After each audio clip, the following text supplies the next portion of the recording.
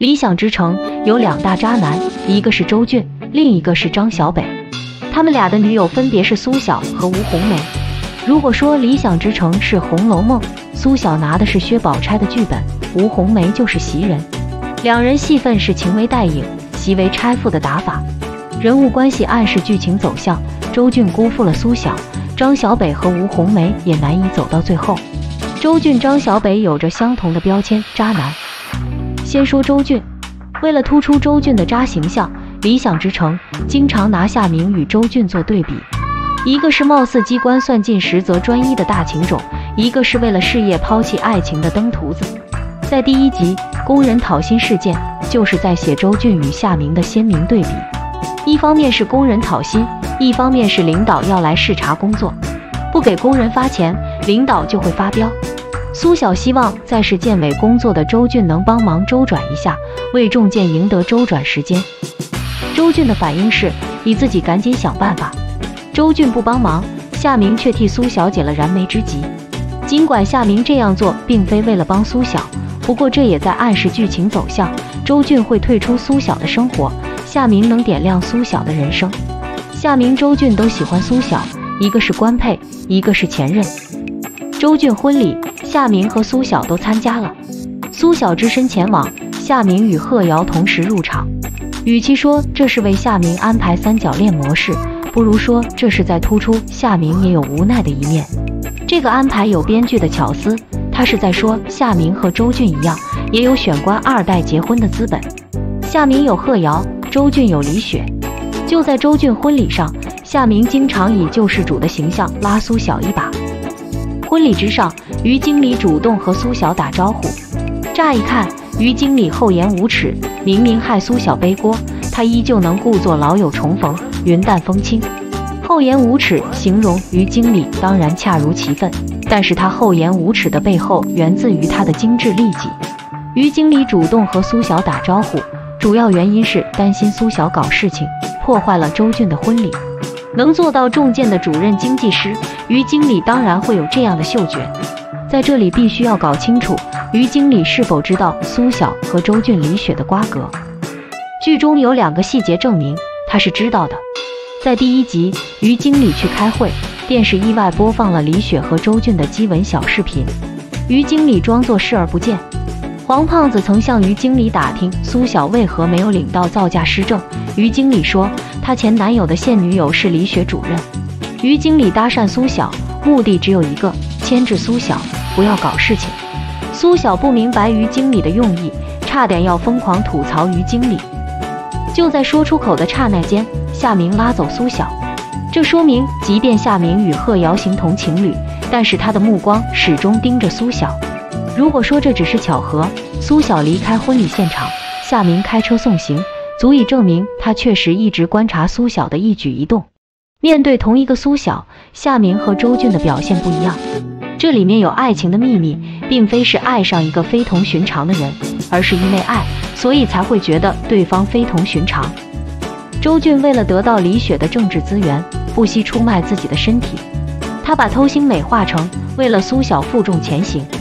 苏晓在向李雪送祝福的时候，不妨推荐她看看《回家的诱惑》，品品洪世贤的爱情语录。我如果为了爱情选择了你，那么有一天我也会因为爱情抛弃你。这话完全可以举一反三。如果周俊为了上位选择了李雪，那么有一天他也会因为上位抛弃李雪。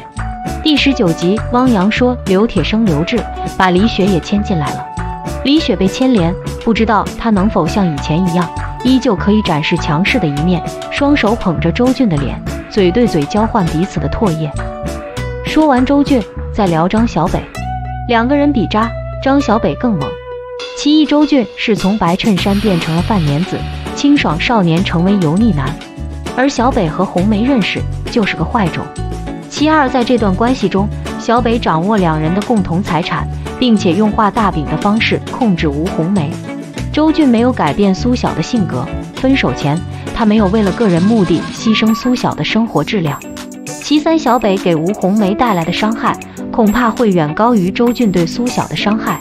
因为吴红梅容错率比苏晓低太多，他用一个买房的大饼让吴红梅一起与他过苦日子，他他不舍得花大钱让吴红梅改变形象，这样做影响了吴红梅的事业。苏小失恋，有吴红梅和原生家庭关心她，而吴红梅却只有苏小了。即便《理想之城》只播了十九集，却可以和吴红梅他妈异口同声地说，吴红梅的男友小北就是骗子。吴红梅不以为然，认为自己没有什么可以骗的。当然有，《理想之城》第八集，小北说自己有买房计划，拿出小本本和红梅算账，这应该是小北掌握两人共同财产的证明。但凡吴红梅掌握自己的工资，她完全可以买自己想买的衣服。小北是个测试员，经常出差，会把宾馆里的小包装沐浴液、洗发水拿回家，作为两个人的生活用品。好听点讲，这是会过日子；难听点说，这个人非常抠门。剧中还有个细节，证明小北舍得为自己花钱。第三集，吴红梅在公司看简历，她的办公桌上用的是 Razer 鼠标垫。游戏玩家应该会明白，这个鼠标垫价格不菲。银海公司给员工配这种鼠标垫不合适，大企业也要赚钱，办公用品会讲究性价比。鼠标垫的来源只能和小北有关。小北很喜欢打游戏，需要这种鼠标垫。另一方面，他在生活方面非常抠门，为了省钱，宁愿坐公交也不会坐地铁，哪怕那天吴红梅遭受严重的职场暴力。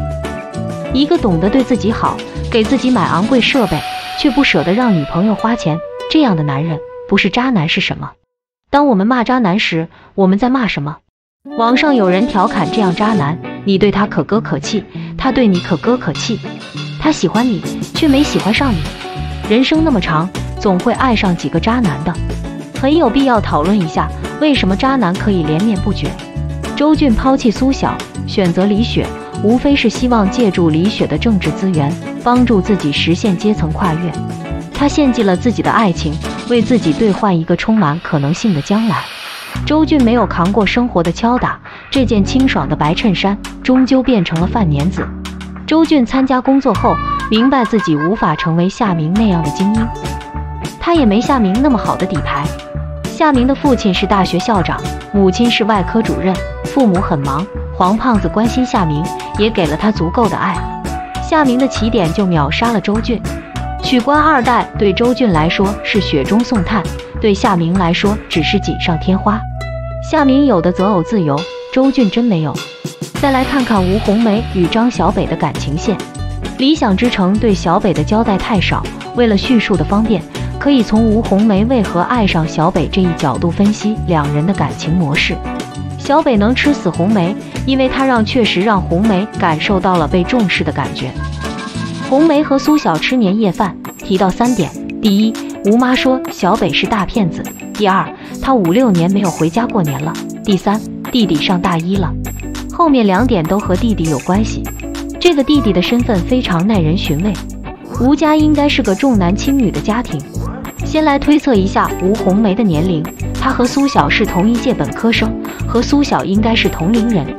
二零一九年十一期间，苏小过三十周岁的生日，这说明苏小是一九八九年出生，吴红梅大概率也是一九八九年出生，而吴红梅弟弟上大一，应该在十九岁左右，这说明吴红梅与弟弟的年龄差是十岁左右。吴红梅与弟弟有极大的年龄差，在新千年才要二胎，足以看出吴家特别渴望要个男孩。吴家和苏家不同，苏家没有重男轻女的思想，接受特定时期的生育政策，即便是女娃也会一心一意爱护。而吴红梅的前半生应该是被厌女情节挟裹的岁月，因为缺少爱，所以她很容易被取悦。有个男人给她一颗糖，她就觉得身边的空气变甜了。张小北这种档次的男人，不用太费心机就能吃死吴红梅。他口口声声说攒钱买房，三百六十度击中吴红梅的软肋，和自己爱也爱自己的人有一个完整的家。第十八集正是吴红梅期待买房结婚的十月份，苏晓和夏明都已经你侬我侬了，吴红梅和小北没有买房的征兆。小北终究是在欺骗红梅，只要两人的共同财产在小北手里。吴红梅被小北扎的风险始终存在，陷入爱河的人肯定比旁人更明白对方的缺点，他们依旧无法自拔，并非因为他们对缺点视而不见，而是因为爱情，他们愿意忍受这些缺点。大家指责小北不舍得花钱给吴红梅买好衣服，改变她的职业形象时，也可能会忽视小北会给她端洗脚水，让她享受友情饮水饱的爱情。即便是渣男，他们的择偶也是他们对生活的直接反应。他们不是粉碎障碍的盖世英雄，而被障碍粉碎了纯净的自己。周俊变渣的背后，有他看不到未来的绝望。吴红梅被小北欺骗，因为她的生存焦虑让她有了明显的软肋。大多数人都是很容易被击垮的平凡人。这个世界上有弱者，对弱者要有怜悯之心，是人类文明的必然。但这并不代表要推崇他弱他有理的价值判断。我们不是生活在天国，而是活在一个充满贪嗔痴的人间。人生苦短，生命无常，和有情人做快乐事？别问是劫是缘。